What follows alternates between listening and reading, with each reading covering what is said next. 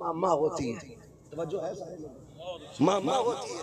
ये सैयदा तैयबा ताहिरा आबिदा जाहिदा हज़रत फातिमा ज़हरा है। यार जाओ। भाई शाहिद विदेश रहते हैं। और भी कितने लोग परदेश रहते होंगे? कितने परदेश रहते होंगे? तजर्बा करना मिंबर से लेके नीचे तक चैलेंज है मेरा। मेरे भाइयों जो तलबा मदरसे में पढ़ते हैं, गौर करें, तुम मदरसे में बीमार हो, कोई फ़ोन नहीं होता। तुम परदेश में बीमार हो जाओ, कोई फ़ोन नहीं होता। लेकिन सुबह उठ के माँ कहती है, जरा लगाओ मेरे बच्चे का फ़ोन मुझे बात करनी है, क्यों? कि रात से दिल नहीं लग रहा कोई खबर? कोई इतला कोई मैसेज, कुछ नहीं, उसने कहा, रात से दिल नहीं लग रहा है। लगता है मेरा बेटा परेशान है। हाय, ये माँ फ़ोन लगता है, कहता माँ, रात से बुखार है। उस्ताद भी कहता है, जितनी बार इसकी, मेरी आँख खुली है, बुखार में मामा कहता रहा। और यार, तुम प्रदेश में माँ को आवाज़ देते रहे माँ का दिल यहाँ कहता रहा, मेरा बेटा बेकरार है। यार, अगर ये तेरी मेरी माँ का दिल है, फिर वो तो हुसैन की माँ है। वो तो मुस्तफ़ा की बेटी है यार। मुझे बता तो सही तू उधर बीमार हो। इधर माँ कहती है, बेटा, बीमार मुझे बता तू सात समंदर पार था। माँ को तेरे दर्द का पता चल गया। माँ पूरी रात बिस्तर पे पानी मांगती रही, बेटे को पता क्यों नहीं क्यों बेटों को खबर नहीं होती है, माँ को पानी चाहिए? वो यार, तरस जाओगे इन्हें पानी पिलाने के लिए। दुनिया में लोटे लेके घूमोगे कि कोई पानी पी ले बूढ़ी, ताकि उसके चेहरे में माँ का चेहरा दिखाई दे। खुदा की कसम, सारी दौलत भी लौटा दोगे, तुम्हें सब कुछ मिल सकता है, लेकिन माँ जैसा चेहरा नहीं मिलेगा। इज़्ज़त करना माँ की। कदर करना माँ की। दोबारा ये नहीं मिलेगी। वो एक शख्स था। उसका ऐलान है, लोगों जिससे माँ न पाली जाती हो मुझे। तवज्जो है ना आप लोगों की? अभी थके तो नहीं है ना? अगर थक गए हो तो मैं बात खत्म कर लूँ भाई साहब। अल्लाह आपको सलामत रखे। सुने सारे लोग। वो कहता जिससे माँ ना पाली जाती है वो मुझसे ले ले सुने मेंबर से लेके नीचे तक शिकायतें आती हैं। कई बार लोग कहते हैं मेरा बेटा हाफिज है मगर ख्याल नहीं करता मौलवी है। ए मौलवी तुम्हें खुदा का वास्ता। हाफिज तुम्हें खुदा का वास्ता। हर बेटे को खुदा का वास्ता। आज बाप बन के न सुनना मेरी बात बेटा बन के सुनना। बेटा बन के मेरी बात सुनना। मैं यार क्या हूँ? लोग कहते हैं, बड़ा नाम है तेरा। असद भाई, कितना बड़ा नाम है? जावेद सिद्दीक छाया हुआ नाम है शेर अदब की दुनिया में। हाँ मुझे बताओ, जिया पूरी दुनिया जान रही है। मगर खुदा की कसम, इन बड़े बड़े नामों से सुकून नहीं मिलता। जब माँ बेटा कह के आवाज़ देती तो कलेजे ठंडे हो जाते हैं। ये ये लहजे को तरस जाओगे यार। ये लहजे को तरस जाओगे। इस प्यार को मर जाओगे ये नहीं मिलने वाला। इसलिए माँ है तो इज़्ज़त कर लो। उसकी एक आवाज़ पे दौड़ जाया करो। उसने कहा था लोगों जिससे माँ न पाली जाती है वो मुझे माँ दे मैं पालूँगा उसकी माँ को। लोगों ने देखा वो कई सारी बूढ़ियों को पाल रहा है। कई सारी बूढ़ी औरतों को इंटरव्यू में उससे पूछा गया यार बता ये लोग अपनी माँ नहीं पालते। तूने ये अनाथ आश्रम पूरा क्यों खोल रखा? ओल्ड एज क्यों बना रखा? सारी बूढ़ी औरतें तेरे घर में। उसने कहा, इसमें कहानी है। कहा, क्या? सुने जरा दिल से। उसने कहा, मैं बहुत छोटा था। यतीम हो गया। होश संभाला तो सिर्फ़ माँ थी, बाप नहीं था। मेरे बच्चों, कई माएँ कहती हैं, मैंने इस बच्चे को बड़ी मेहनत से पाला है। जब से शादी हुई है, ये मुझे रोटी नहीं दे रहा है। मैंने बर्तन धो धो के पड़ोसी के घर में इसका पेट भरा था। मैंने कपड़े सिल सिल के इस दिन के लिए इसको पाला था कि कल बेटा जवान होगा तो मुझे किसी की मोहताजी नहीं रहेगी कहती आज ये जवान हो गया बेटी बीवी है इसके पास ये अपनी माँ को रोटी नहीं देता। और तुम्हें खुदा का वास्ता तुम नहीं जानते हो माँ बाप कैसे पालते औलाद को? किस दर्द के साथ औलाद को माँ बाप पालते तुम सोच भी नहीं सकते यार। सोच भी नहीं सकते। माँ बेवा हो ना कभी उसका दिल मत टूटने देना।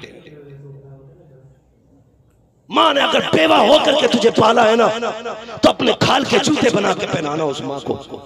इसलिए कि खुदा की कसम उसका कोई मोल नहीं है जिस माँ ने तुझे बिना बाप के पाल के दिखाया। है पूछो ये बैठे उलामा। दाढ़ी वाले लोग इनसे पूछो। माँ क्या उसने कहा मैं छोटा था हो संभाला ना तो मेरी माँ की एक आँख नहीं थी। माँ बाप चाहते कि मेरी औलाद पढ़े। वो किसी ने सवाल किया था कि माँ जब बच्चे को उठाती है तो कंधे पे गोद में रखती है, बाप जब उठाता तो कंधे पे क्यों रखता है? किसी ने बड़ा प्यारा जवाब दिया था, माँ इसलिए गोद में उठाती है, वो चाहती है वहाँ तक देखे जहाँ तक मैं देख रही हूँ। और बाप इसलिए कंधे पे बैठाता है कि जहाँ तक मैं नहीं देख रहा, उससे आगे तक मेरा बेटा देखने लगे। वरना क्या ज़रूरत थी तुम्हारे हाथों में कलम दिया बाप ने?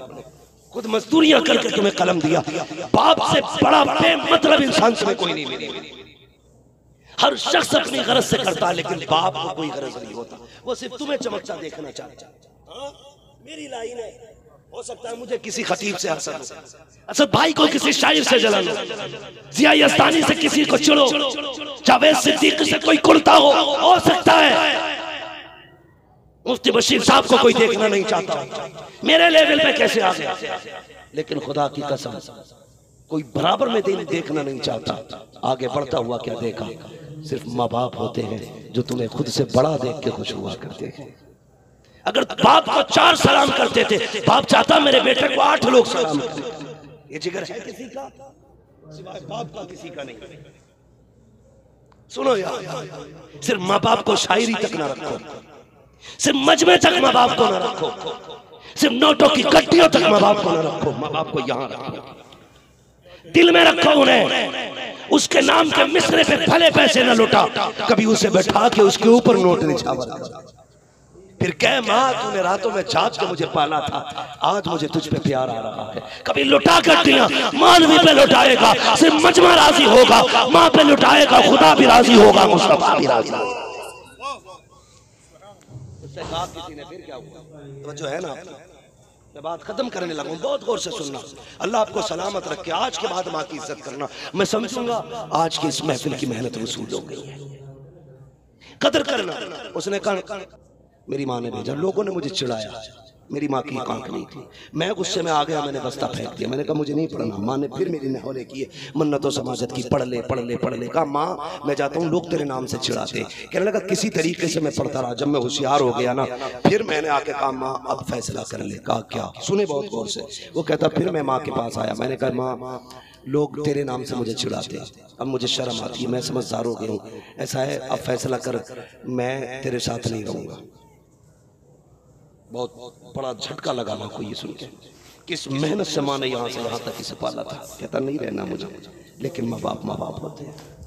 मालूम है क्या कहती है? बेटे, जिसमें तेरी मर्ज़ी है, उसमें मेरी मर्ज़ी लोग प्रदेश जाके कई कई साल लौट के नहीं आते। कहते, माँ की मर्ज़ी से आया था। तुझे पता है माँ का दिल क्या है? पूरी ज़िंदगी भी लौट के ना आए ना माँ तेरा दिल नहीं तोड़ेगी।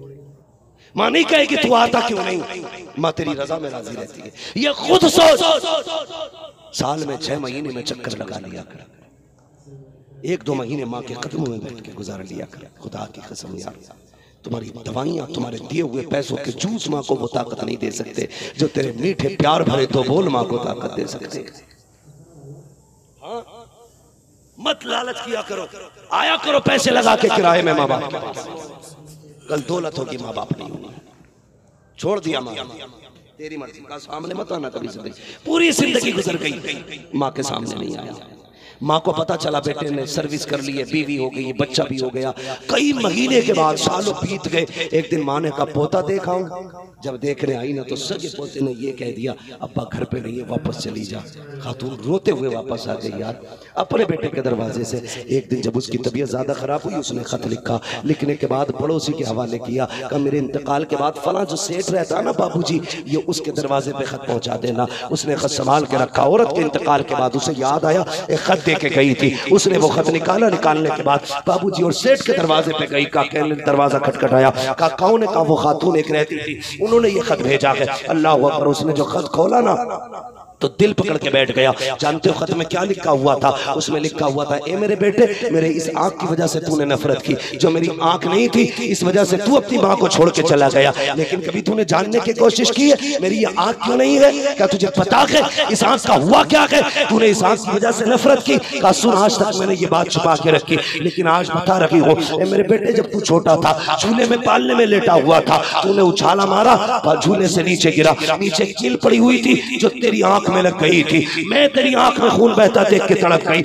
एक ही बेटा था मेरा, तेरे मेरे सर पे तेरे बाप का साया भी ना था। मैं तुझे हॉस्पिटल लेके गई, मैंने डॉक्टर से तेरी आँख चेक कराई। उसने कहा, इसकी आँख जा चुकी है। मैंने कहा, इसकी आँख वापस कैसे आएगी? कब आँख वापस नहीं आ सकती? कब फिर क्या हो सकता है? कहा, इतना हो सकता है। अगर तुम कोई आँख दो तो उसके बदले में हम इसके एक आँख लगा सकते हैं। मैं कहा जाती बेटे? किसके दरवाजे जाती? मैंने कहा, डॉक्टर मेरी आँख निकाल ले। उसके बदले में मेरी बेटे की आँख लगा दे। डॉक्टर ने कहा था जवान है, क्यों अपनी आँख खोल रही है? उसने कहा, क्या करूँगी इस आँख रोहन का, जिनके लिए सस्ती सवरती थी? वो सजन तो कब्रिस्तान जा चुके हैं। अब किसके लिए सजना सवरना? मेरी ज़िंदगी भी ये है, मेरी खुशी भी ये है। अगर ये होश संभालेगा, लोग इसे काना कहेंगे, माँ का दिल टूटेगा। ऐसा मेरी आँख निकाल ले।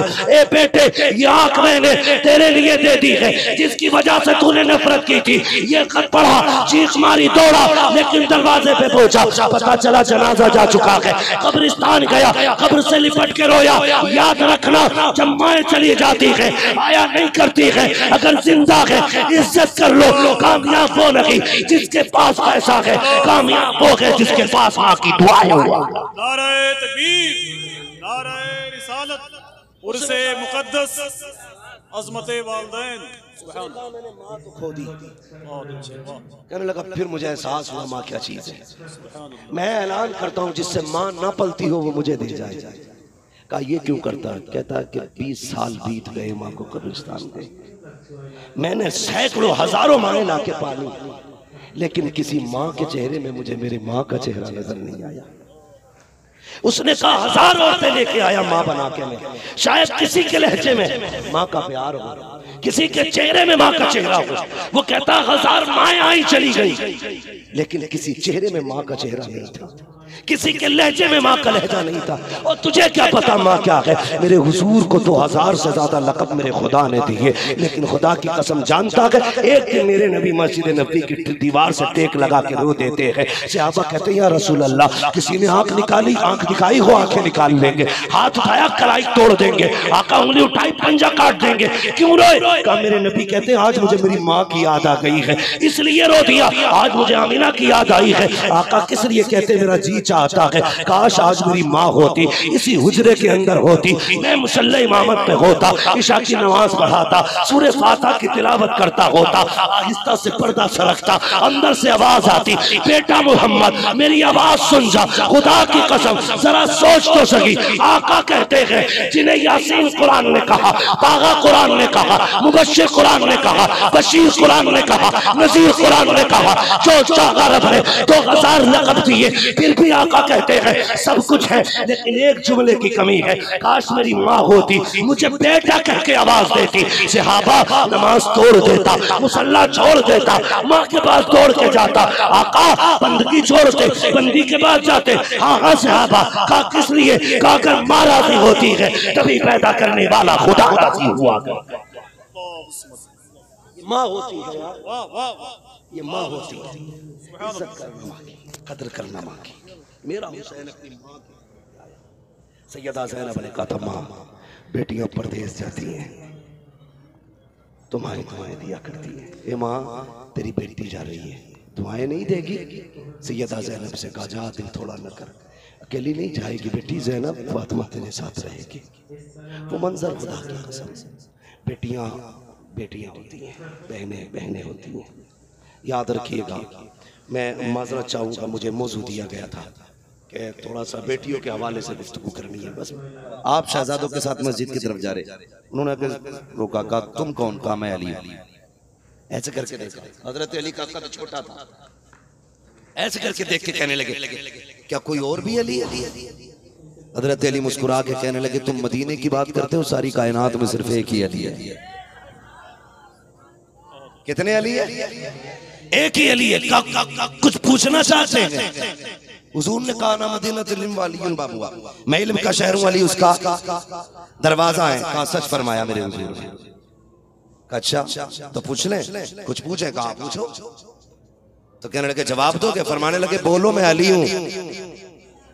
जो भी पूछना, बारह सवाल करके लाए थे, अब सुनना प्यारे, उनमें से एक ने कहा अच्छा अगर तुम्हें इल्म पे इतना गुमान है तो जरा ये बताओ ना, नबी ने तुम्हें इल्म का शहर का दरवाज़ा कहा है, ये बताओ, वो एक क्या है जिसके जैसा दूसरा कोई नहीं है? मेरे मेरे मौलाए कायनात कहते हैं, सुनो, वो एक खुदा की जात है, जिसके जैसा रब ने कोई दूसरा बनाया जिसके जैसा कोई खुदा ही नहीं है। फिर उन्होंने कहा, वो तो क्या जिसके जैसा तीसरा कोई नहीं? आपने कहा, दिन रात है, जिसके अलावा तीसरा कोई बनाई नहीं है। उन्होंने कहा, वो तीन क्या जिसका चौथा कोई नहीं है? आपने कहा लो कलम कुर्सी ये तीन है जिनके जैसा चौथा नहीं बना है। उन्होंने कहा वो चार क्या जिनके जैसा पांचवा कोई नहीं? आपने कहा कि तू जबूर इंजील कुरान। ये चार है जिनके जैसा पांचवा कोई नहीं बना। उन्होंने कहा अच्छा वो पाँच बताइए जिसके जैसा छठा कोई नहीं। आपने कहा सुनो फजर सुहारा सर मगरिब इशा ये पाँच फ़र्ज़ नमाजें हैं जिनके जैसे छठी नमाज़ कोई नहीं है। कहने लगे वो छह बताओ जिसके जैसा सातवा कोई नहीं। आपने कहा वो छह दिनों रात है जिनमें अल्लाह ने सातों ज़मीन आसमानों को बनाया। उन्होंने कहा वो सात बताओ जिसके जैसा आठवा कोई नहीं आपने कहा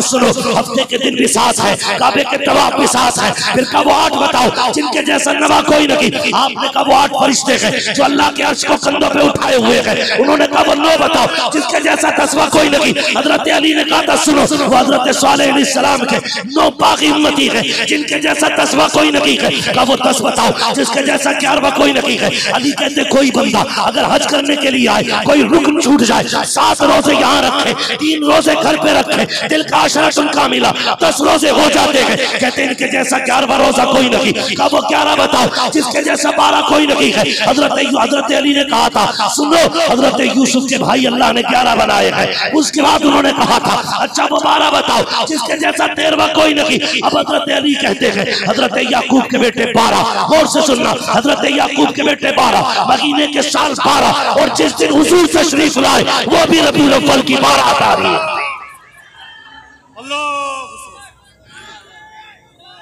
या रसूल अल्लाह वाह वाह वाह वाह वाह।